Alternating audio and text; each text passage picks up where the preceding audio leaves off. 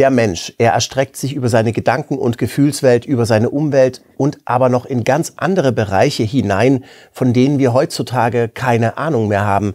Dabei wird seit Jahrtausenden in alten Mythen und Legenden darüber berichtet. Von dort kommt sämtliche Kreativität, von dort entspringt das Neue.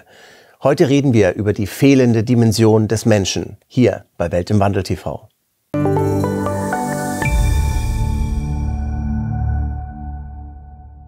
Herzlich willkommen, Jörg Fuhrmann. Schön, dass Sie da sind. Ja, danke. Das war jetzt eine bombastische Ankündigung äh, mhm. für ein Thema, für das es eigentlich äh, sehr schwer ist, Worte zu finden. Und darum bin ich froh, dass Sie hier sind.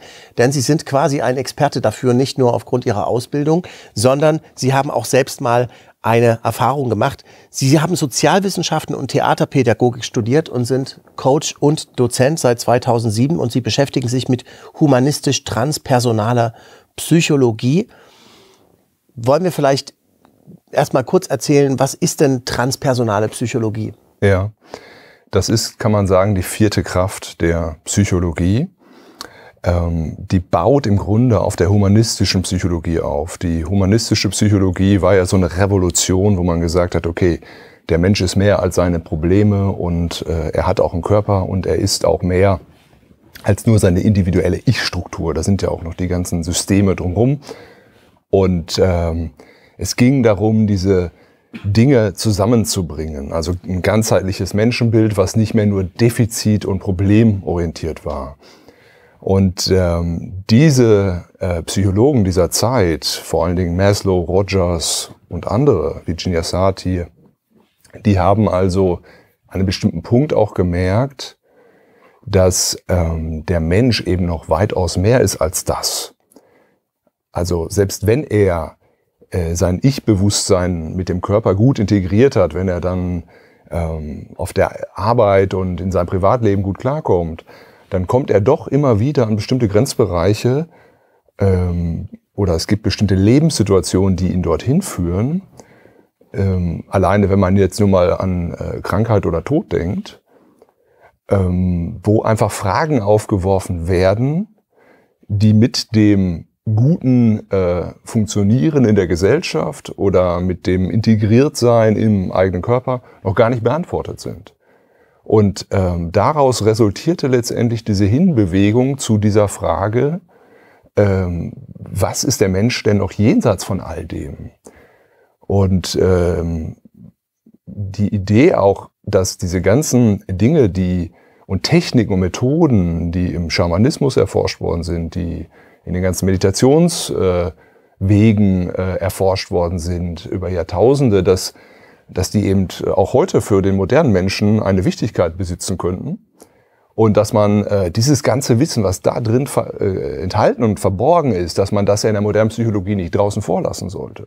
Ja. Mhm. Und ähm, man hat also dann begonnen, ähm, äh, nach einem vierten Weg zu suchen, also jenseits von äh, Tiefenpsychologie, Verhaltenstherapie, Behaviorismus, äh, humanistischer Psychologie, der das eben mit integriert auf eine nicht pathologisierende Weise, weil bis dato war es eigentlich so, dass veränderte Bewusstseinszustände per se äh, in irgendeiner Weise immer stigmatisiert worden sind ähm, oder pathologisiert worden Wer sind. Visionen hat, sollte zum Arzt gehen.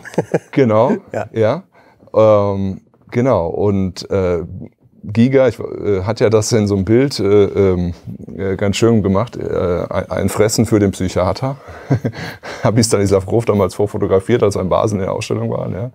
Passte ganz gut. Und äh, ja, das ist also, ähm, äh, denke ich, ähm, ganz wichtiger Punkt, um das zu verstehen, dass es letztendlich seit diesen ja, äh, 60er Jahren diese vierte Form der Psychologie gibt die diese ganzen Zustände auch erforscht, äh, Methoden entwickelt hat und Zugänge entwickelt hat, um diese, ähm, diese, diesen, diese Bereiche, die man so schwer fassen kann, ähm, zu er erreichen, zu erforschen. Mhm.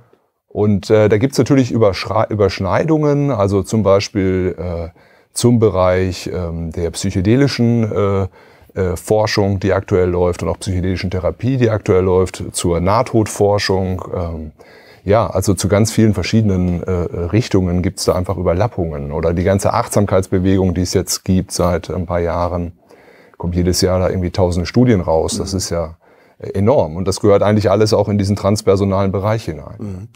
Nun werden sich ähm, äh, Angestellte, Manager, Schichtarbeiter, äh, Verkäuferinnen und äh, Leute an der Bushaltestelle fragen, ich habe davon noch nie gehört. Mhm. Ähm, wofür soll ich denn das brauchen? Jetzt, mein Leben ist schon kompliziert genug. Warum soll ich mich jetzt damit noch auseinandersetzen, dass es da noch irgendwas anderes von mir geben soll? Warum sollte man sich überhaupt damit beschäftigen? Ja, ja, ist eine gute Frage. Also äh, ich glaube, also erstmal ist es, ein Großteil davon ist wahrscheinlich nicht von mir. Deswegen, das sagt der Name schon, transpersonal geht. Es wirkt also über die Persönlichkeit, über den Charakter hinaus, über das Ich, über die Ich-Struktur hinaus. Und, oft, und es, sind eben Erfahrungen, die häufig auch ähm, in einen, ähm, wie soll ich sagen, ähm, die, die den Menschen in einen Kontext stellen, ähm, obwohl er es gar nicht bestellt hat. Er hat es gar nicht äh, verlangt. Also es ist. Äh, also man wird, man, man wird damit konfrontiert. Möglicherweise, ja. Und ich glaube, ähm, im Laufe des Lebens wird jeder irgendwann einmal damit konfrontiert. Also das, das kann auch sein. In was für Situationen? Ja, jetzt beispielsweise ähm, schwere Erkrankung, Sterbebett. Ähm, ich glaube, spätestens da wird man damit konfrontiert. Aber ähm, natürlich auch bei, zum Beispiel bei Geburtsprozessen, ist ganz klassisch. Ja, es ist also ein Kardinalsweg, um in solche stark veränderten Bewusstseinszustände zu kommen.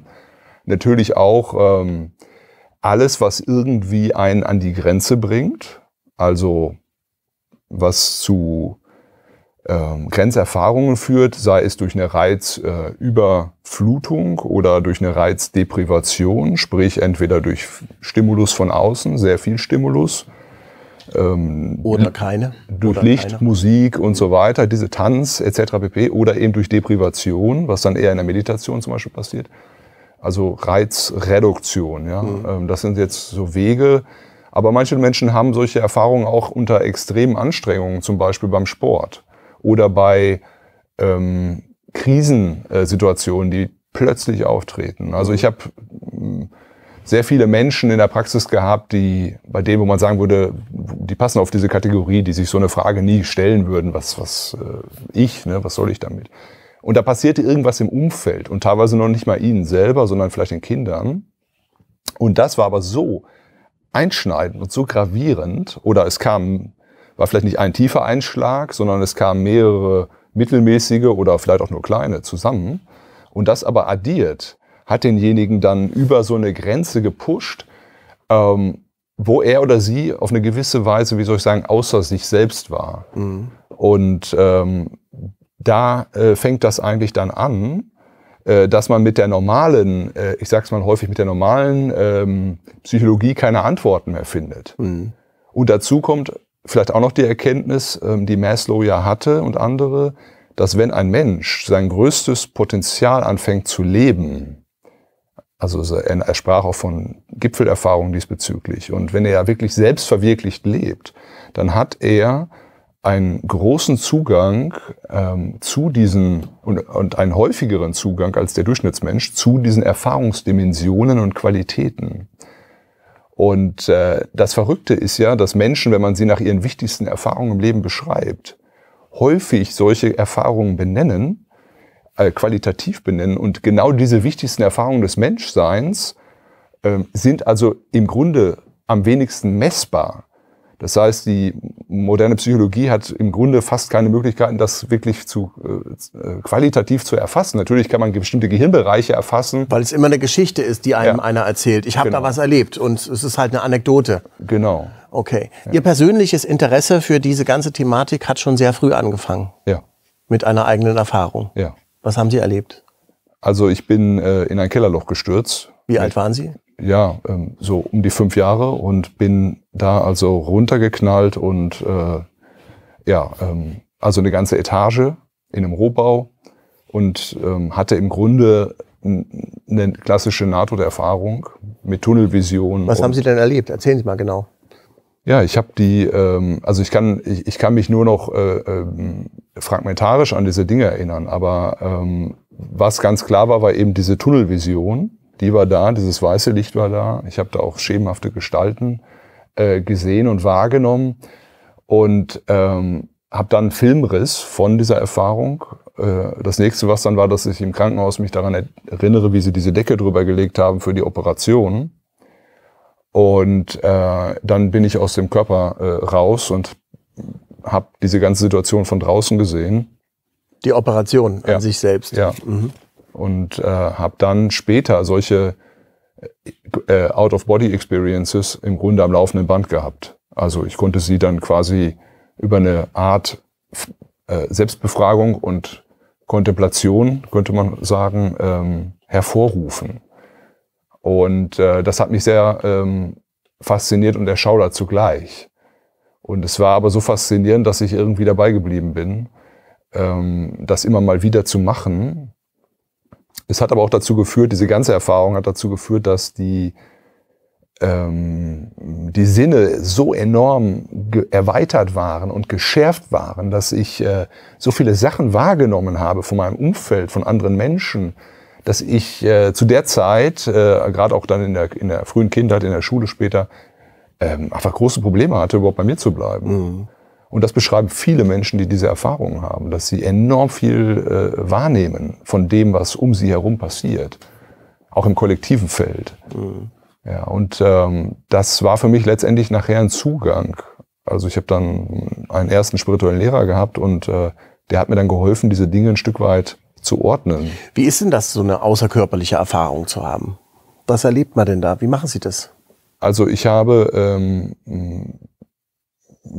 ich habe diesen Shift, den kann ich gar nicht so kann ich nach wie vor gar nicht gut beschreiben. Also es ist äh, eine eine Situation, wo ich mich fokus, stark fokussiert habe auf die Sinnfrage. Und diese Sinnfrage hat dann dazu geführt, ähm, dass es mich wie raus, also immer wie raus katapultiert hat und ich mich dann quasi am Schreibtisch oder auf dem Bett sitzend auch wieder wie von oben gesehen habe. Ja, und das sind natürlich auch Erfahrungsqualitäten, die ähm, im Grunde Menschen, die mit Trauma, das war ja auch ein Trauma, dieser Kellersturz, ähm, auch beschreiben. Ähm, das ist also auch eine, ein Mechanismus vom Organismus, um äh, überwältigende Erfahrungen äh, im Grunde besser integriert, also besser äh, überleben zu können. Wie ist es überhaupt möglich, sich von außen wahrzunehmen, wenn doch Frage. die Wahrnehmung an das Gehirn gekoppelt sein soll? Ja, das sagen ja, äh, das sagt ja die klassische Schule. Ähm, Pim van Lommel sagt ja zum Beispiel. Pim van Lommel, wichtiger äh, hm. Herzchirurg genau. aus den Niederlanden, der eine Studie gemacht hat über Nahtoderfahrungen. Ja. Genau, ja, der seine ganze Arbeit dem gewidmet hat. Mhm. Und er sagt ja ähm, zum Beispiel eben, dass, äh, das sagen ja viele Transpersonaltherapeuten auch, das Gehirn ist eigentlich nur der Empfänger. Und du kannst äh, den Fernseher auseinanderbauen und findest die Programme eben nicht. Und das ist wie so ein Download aus einer Cloud. Und wenn unser äh, Netzwerk, das die ganze Zeit mit dem fürs Wachbewusstsein ganz wesentlich ist, das Default Mode Network, wenn das im Grunde überladen ist oder überlastet ist, dann ist äh, dann oder es offline geht, dadurch, dass Substanzen eingenommen werden, dann wird auf einmal der ganze Raum offen und der Zugang wird ermöglicht für den Download, könnte man sagen, aus der Cloud, ja, mit sämtlichen Informationen, die da sind. Mhm. Und äh, das geht eben auch über diese Methoden. Ja. Also unser Gehirn ist im Grunde also nicht der Stifter des Bewusstseins, sondern eigentlich nur so eine Art Sender-Empfänger-Antenne von einem viel größeren Bewusstsein, die filtert, was in unser Bewusstsein reinrieseln darf und was nicht. Habe ich das richtig verstanden? Ja, also nach dem transpersonalen Verständnis äh, kann man das so sagen, ja. Mhm. Genau. So, und wenn Sie da äh, außerkörperliche Erfahrungen gemacht haben, sind Sie nur über sich selbst geschwebt? Ist ja langweilig. Haben Sie noch andere Sachen gemacht? Kann man da. Ja, also dabei war das so. Äh, aber ich bin dann aufgrund dieser Erfahrungen ja auf diesen Übungsweg gegangen. Äh, zuerst über die Meditation, Kontemplation und Mystik, äh, auch bei Willige Seger und später dann eben auf dem Weg über diese transpersonale Schiene äh, als ähm, eben Schüler von Claudio Naranjo äh, oder eben Stanislav Grof äh, und anderen äh, transpersonalen Therapeuten, Almas war ich auch, und bei verschiedenen Schamanen und habe das dann eben erforscht, ähm, was es dort für Zugänge gibt. Und das war eben für mich sehr, sehr ähm, essentiell, existenziell und wichtig. Da habe ich dann auch mehrere äh, Reisen gemacht in meinem Leben, wo ich mich dem hingegeben habe. Also Pilgerreisen äh, auf dem Jakobsweg oder in Nepal oder Südamerika. Was ist denn das eigentlich für ein seltsamer Raum? Ist es das, wo die Mythen, worüber die Mythen äh, und Legenden schreiben? Ist es das, wovon die Kirche erzählt? Ist es mhm. das, was man im Drogenrausch erlebt? Was, mhm. Oder was, was ist denn das eigentlich? Ja, ähm, die Geschichten sind eigentlich so alt wie die Menschheit, könnte man sagen. Ja? Ähm, das heißt also, wir finden in allen Kulturen finden wir ähm, Metaphern dafür, für diese Erfahrungsqualitäten. Und äh, ob du jetzt äh, die Geschichte von Saulus zu Paulus nimmst, der Sturz vom Pferd auf, von Damaskus da auf dem Weg, oder ob du was, äh, was, äh, was nimmst vom Herrn aus Nazareth, der in der Wüste war 40 Tage, oder bei Buddha unterm Bodhi-Baum, äh, oder eben halt bei dem Schaman, der auf, die, äh, auf den Weltenbaum klettert und dort ausharrt äh, um dort äh, seine Initiation zu machen. Die Erfahrungen sind natürlich häufig ein Stück weit kulturell auch geprägt, aber es gibt auch transkulturelle Erfahrungen, zum Beispiel mit Ayahuasca, wo Menschen aus dem Westen äh, diesen Trunk der Liane nehmen und äh, auch die Vision haben von der Anaconda. Das ist auch ganz spannend und äh, nicht vorher nichts wussten darüber, was sie jetzt nehmen. Ja und äh, ähm, ich denke, wir haben also einen Zugriff auf diesen kollektiven Pool ähm, wo Menschen dann wirklich Erfahrungen machen in diesem, was Jung nannte, das kollektive Unterbewusstsein oder wo auch archetypische Bilder auftauchen. Und ähm, ich mache die Erfahrung mit Menschen, dass sie eben, äh, gerade wenn sie in Krisen sind, und oder einfach nur auch ich, ich arbeite mit vielen kreativen Menschen, die einfach ihr Kreativitätspotenzial erweitern wollen dass sie dann also äh, gerade Symbole und Metaphern und Bilder und Geschichten finden und die sich auftun, die genau zu ihrer Situation passen oder die dafür ein Schlüssel sind. Also es ist ein, es ist ein, ein Prozess der Kommunikation, in dem man da geht, ja. wenn man sich dort äh, aufhält. Genau. Mit dem Bewusstsein. Ja, das könnte man sagen. Also ähm, in den alten Kulturen sind die Menschen in diese Zustände, die ja für die auch immer sakrale oder heilige Zustände waren, reingegangen, wenn es um was Wesentliches ging. Das hat man also nicht gemacht wie jetzt bei uns irgendwie äh, nach Feierabend das Pilz rein, ja, sondern ähm, oder oder jeden Tag äh, rauchen. Äh, also der, der, der Tabako war äh, auch für die sehr heilig und das war dann eben Teil der Zeremonie, äh, um das Bewusstsein zu öffnen oder zu mhm. Und die kämen wahrscheinlich nicht auf die Idee, das rund um die Uhr zu konsumieren. Also für die hatte das einen bestimmten, bestimmte Bedeutung, einen bestimmten Sinn und einen bestimmten, äh, ja auch einen Wert. Und ähm, wenn du also mit einer gewissen Intention dann in so eine Situation reingehst, dann gibt es also auch eine, äh, gibt es auch eine bestimmte Antwort aus dem Feld, aus dem kollektiven Feld. Und die Antwort, äh, Viele machen dann den Fehler, glaube ich, heute, äh, dass sie die Antwort dann immer äh, linear kausal äh, auf sich beziehen oder auf ihr Ego, äh, das ist ja in dem Moment ja außen vor. Und ich glaube, dass, äh, ähm, also im Sinne von, aha, jetzt erlebe ich hier was zum Beispiel als, keine Ahnung, ich werde verbrannt als Hexe, ist ja so ein Klassiker. Ähm, natürlich wurden da viele verbrannt, gar keine Frage. Da kann man auch eine Erfahrung zu machen. Äh, das wird häufig dann linear kausal so gewertet, als wenn man jetzt äh, damals das selber gewesen ist. Das muss aber gar nicht so sein, finde ich, sondern wo die Info herkommt, würde ich immer offen lassen. Und diese Erfahrung hat aber möglicherweise genau was mit der jetzigen Erfahrung zu tun, wo die Frau als, weiß ich nicht, Führungskraft in dem Betrieb ständig zum Beispiel gemobbt wird oder mhm. äh, obwohl sie mindestens die gleiche Arbeit macht, weniger verdient als die Kollegen. Mhm. Solche Dinge einfach. Und dann erlebt sie auf einmal diese Bilder und in diesem Bild kommt all der Schmerz hoch, die Wut, die Frustration, all das, ähm, was sie da in der Situation auch äh, erlebt. Das ist aber dann in einem übertragenen Sinne. Und, vielleicht Und sie versteht dadurch was, was genau. sie... Ja. Auf einer anderen Ebene aber auch, mhm. als nur rein hier mit dem Denkkasten. Das ist ja auch mhm. körperlich, das ist äh, ja feinstofflicher, energetisch könnte man sagen. Äh, das ist, äh, das ist aber auch faszial äh, oder muskulär. Ja, das geht also über den ganzen Körper. Das ist sehr verbunden eben in der Körperarbeit zum Beispiel. Mhm. Ja. Also was wir so im Gehirn verstehen, das hat ja oftmals auch so positiv und negativ. Hat vielleicht was damit zu tun, dass wir zwei Gehirnhälften haben. Ja, das eine wird, ja, so könnte es sein und dann kommt der Zweifel, nee, so ist es ja doch nicht irgendwie. Ist, äh, oder könnte auch, könnte auch nicht so sein. Ja, wissen Sie, was ich meine? Äh, ist das äh, dieselbe Qualität von Informationen, die man da bekommt oder dieselbe dieselbe Art von Inspiration? wenn, wenn man sie aus diesem transpersonalen Raum bekommt. Wissen Sie, was ich meine? Nee. also äh, ist es was, was ich da erlebe, woran ich dann zweifle, dass ich das wirklich wahrgenommen habe? Oder dass es wirklich so ah. ist? Ja gut, also ähm, die, die, äh, so, sobald jetzt, sage ich mal, äh, unser äh, Default Mode Network wieder online ist und der Kritiker wieder voll am, äh, am Lenkrad sitzt, kann es gut passieren, dass der Mensch anfängt, das, das wieder auseinanderzunehmen und zu reflektieren und vielleicht auch zu entwerten. Das ist dann aber auch, würde ich sagen, Teil des Prozesses. Und das ist auch das, was dann in dem Moment äh, vielleicht wichtig ist, weil er das sowieso schon die ganze Zeit mit sich macht. Also ich arbeite äh, immer phänomenologisch, das heißt, die Phänomene, die dann hochkommen, die sind, ähm, die sind wichtig, die sind entscheidend.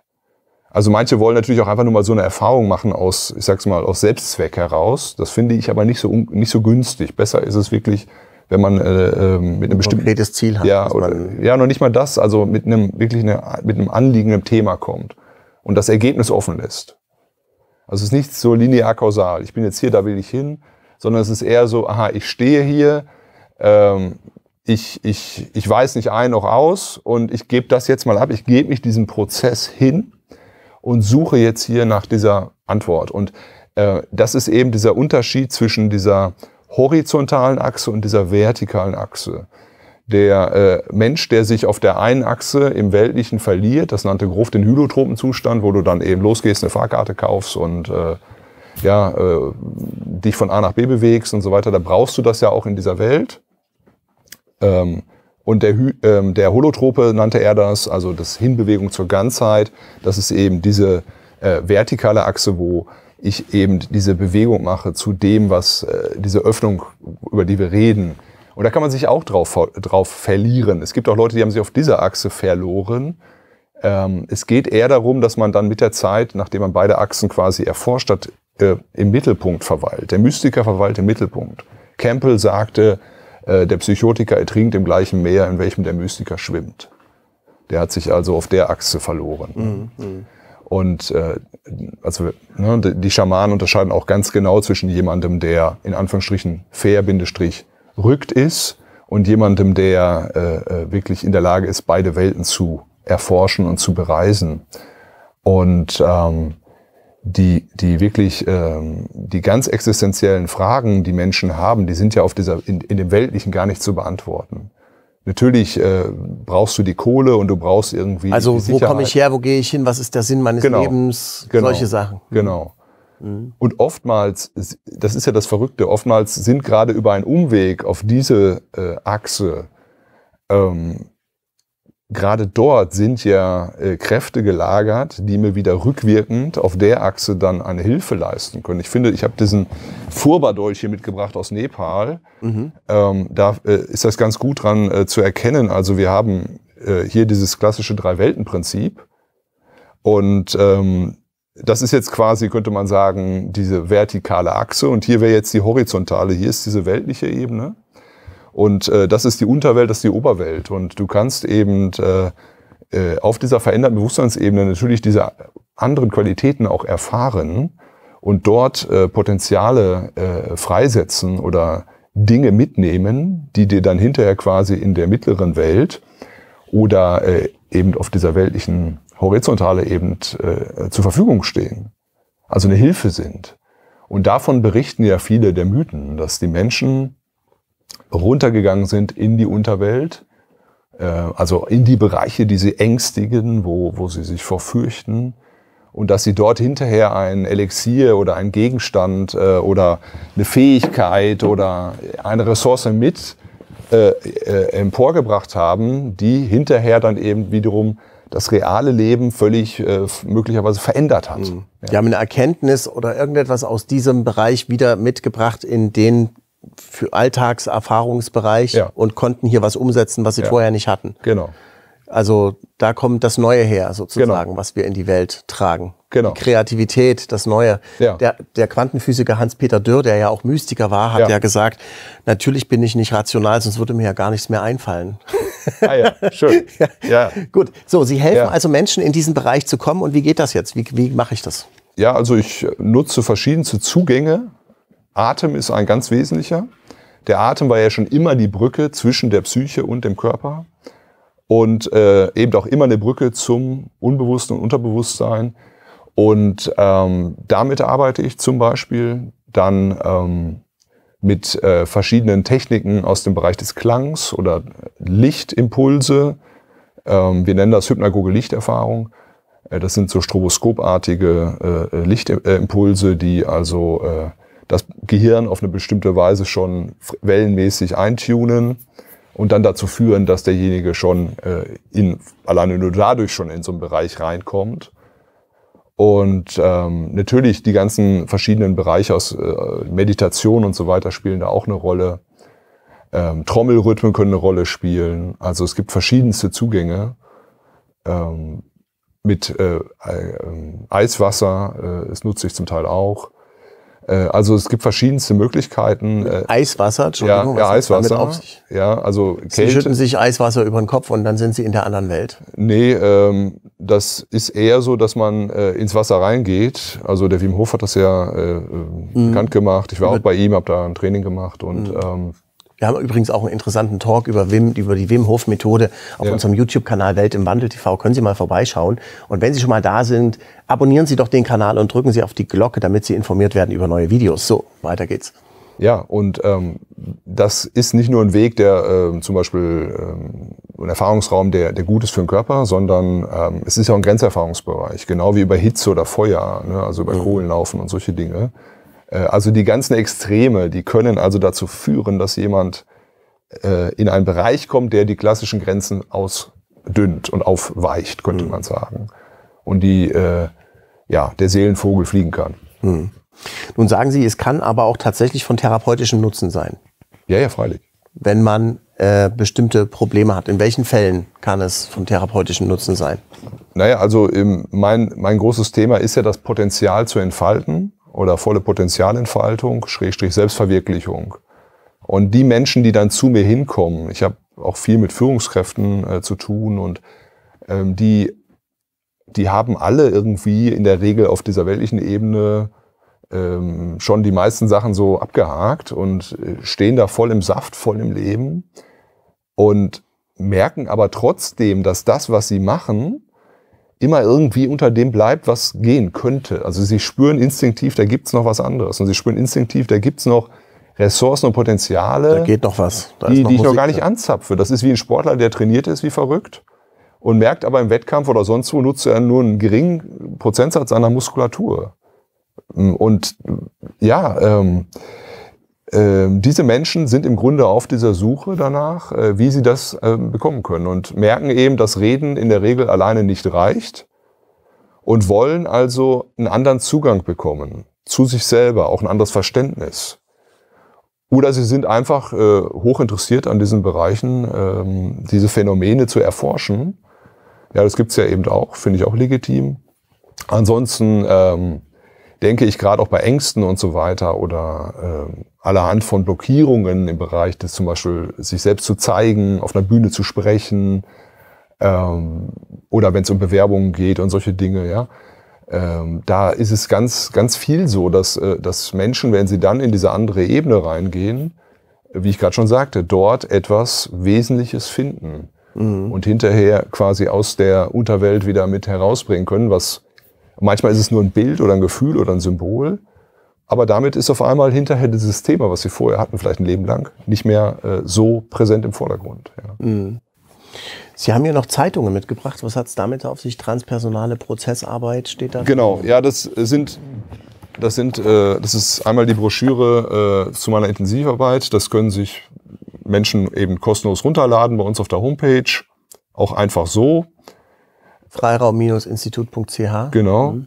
Das ist so, ich arbeite nach einem speziellen Intensivkonzept. Das heißt, die Leute kommen nicht stundenweise, es ist so eine therapeutische äh, Laufpraxis, sondern die Leute kommen eben äh, für einen längeren Zeitraum, für meistens mehrere Tage, manchmal auch für eine Woche oder so, äh, zu uns an den Bodensee, mieten sich da ein und machen dann dort eben en bloc eine Erfahrung, wo es in die Tiefe geht und hinten wieder raus. Ja, das wird hier so ein Stück weit eingeleitet und beschrieben.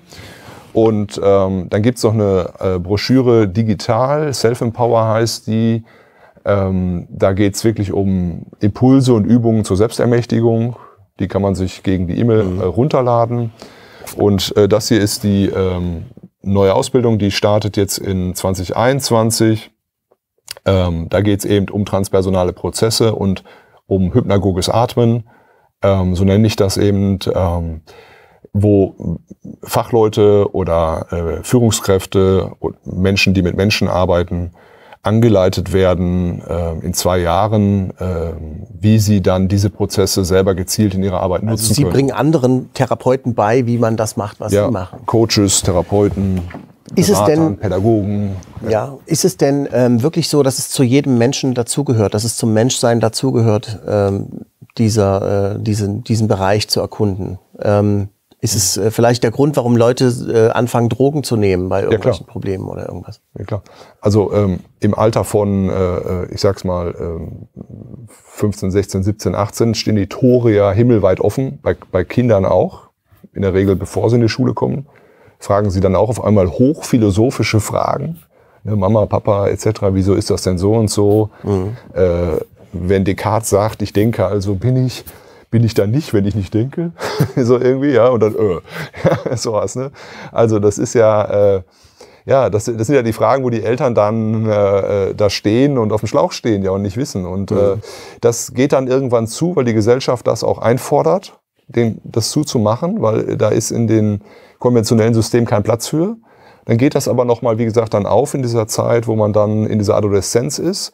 Da ist das dann häufig schon mit so Moralismus gekoppelt äh, was sich dann aus, die Welt müsste eigentlich so und so sein und, und und wenn das dann auch, wenn da auch kein Widerhall findet, was meistens der Fall ist, das greift ja so ins Leere, ähm, die Institutionen, die eigentlich dafür zuständig wären, die haben den Menschen ja natürlich auch diese Erfahrungsqualität beraubt. Ähm, wenn man also wirklich. Welche Institutionen? Naja gut, also es hat sich ja aufgeteilt in Wissenschaft und ähm, Religion. Mhm. Äh, und ursprünglich war das ja auch mal zusammen. Und ähm, die Religio hatte ja eigentlich dann diese Aufgabe, äh, diese Räume zu halt, zu eröffnen, zu halten, die Menschen da äh, durchzubringen. Aber wenn heute jemand in einer entsprechenden Institution solche Erfahrungen machen würde, wie die, die er bei uns macht, ähm, hat schon der eine oder andere gesagt, dann hätte ich wahrscheinlich jetzt eine neue Jacke gekriegt und ein neues Zimmer, kostenlos. Und ja, das ist also, ähm, ist also schwierig und die Menschen spüren auch, dass der, der da vorne steht, die Erfahrung selber nicht hat oder dass sie sie nicht haben können oder dürfen. Und natürlich in der ähm, Verzweiflung, weil natürlich auch ähm, von, ähm, von der Juristikative her äh, der Zugang zum Beispiel zu Substanzen verboten ist, zumindest in Deutschland, Schweiz und so weiter in der Regel. Ayahuasca. Zum Beispiel oder. Die Lianen, die, die unheimliche Dschungeldroge, ja. die als Weltkulturerbe gilt in einigen Ländern. Oder diese ja. Zauberpilze und so weiter. Äh, diese mhm. ganzen Dinge. Also, ähm, das, äh, dann gehen die Leute eben in die illegalen Settings rein, äh, nehmen da äh, unsauberes Zeug, schlechte Dosierungen mit komischen Leuten äh, und eben in schlechten Settings und kommen dann äh, auf einen doofen Trip, ja, könnte man so sagen. Und da bleiben dann ja manche auch drauf hängen. Und das ist, äh, ist einfach schwierig. Wir haben einfach in unserer Kultur keine, also keine Möglichkeit mehr, diese Dinge zu erforschen, egal wie. Ähm, jetzt natürlich langsam zunehmend wieder mehr, aber wir hatten sie lange nicht. Und dazu kommt noch die Zeit des Nationalsozialismus. Äh, die haben natürlich viele dieser Techniken auch genutzt ähm, was weiß ich, Fackelzüge im Wald mit Trommeln und so weiter. Das sind natürlich auch im Grunde archaische Dinge gewesen. Sonst hätten die nie so eine Power gekriegt in dieser ganzen Dynamik. Und äh, Deswegen hat der Deutsche, glaube ich, spezifisch nochmal eine, eine gehemmtere Variante dazu, sein Bewusstsein zu verlieren, weil er verknüpft das automatisch damit, oh, dann passiert was ganz Schlimmes. Braune Esoterik. Ja, genau, dann machen wir, ja, dann passiert sofort ja. äh, Mord und Totschlag und ich bin wieder schuld oder was. Und äh, äh, ich bin da noch Teil von, obwohl ich, ne, ich weiß nicht mehr, was ich tue hinterher. Äh, also das ist gerade spezifisch, glaube ich, hier nochmal ganz speziell in, in Deutschland so. Das ist in der Schweiz zum Beispiel schon sehr anders. Sie sind da viel offener haben da viel, also habe ich den Eindruck, viel mehr geerdet, nach unten verwurzelt und haben äh, mehr, mehr noch einen Zugang dazu. Ja. Mhm. Mhm. ja. Also Sie sagen, dieser Bereich gehört dazu und es ist, mhm. kann sinnvoll sein, sich äh, damit unter Anleitung ja. zu beschäftigen. Auch substanzfrei. Ne? Ich arbeite eben substanzfrei, weil wie mhm. gesagt, es ist eben äh, nicht legal, zumindest aktuell nicht. Und kann ja sein, dass sich das irgendwann mal ändert, aber aktuell ist das so nicht, in Deutschland und in der Schweiz zumindestens. Und äh, die Zustände sind aber eben sehr, äh, sehr ähnlich. Ich habe viele Leute da gehabt, die Erfahrungen gemacht haben auf anderen äh, Kontinenten mit diesen Dingen. Und äh, ich selber ja auch. Und äh, ich habe auch Erfahrungen gemacht, äh, allein mit der Atemarbeit, die waren stärker als äh, zum Beispiel jetzt im Urwald mit mhm. Substanz. Mhm. Ja. Ja. Gut, wo kann ich mich informieren über Sie? Was ist Ihre Webseite? Freiraum? Institut.ch. Freiraum. Dort finden Sie Ihren Freiraum, wenn Sie der Meinung sind, was heißt, wenn Sie der Meinung sind? Wenn Sie neugierig sind, diesen Bereich in sich zu entdecken und zu erforschen. Vielen Dank, Herr Fuhrmann. Ja, ich danke auch. Ich wünsche Ihnen noch viele spannende Einladung. Entdeckungsreisen. Ja, danke. Das ist sehr, sehr interessant. Ja. ja. Vielen Dank, dass Sie da waren. Danke auch. Und Ihnen vielen Dank fürs Zuschauen. Machen Sie es gut. Tschüss.